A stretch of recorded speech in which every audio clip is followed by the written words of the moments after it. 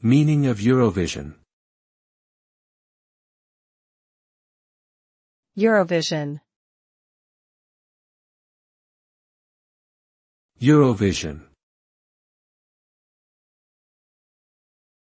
Eurovision.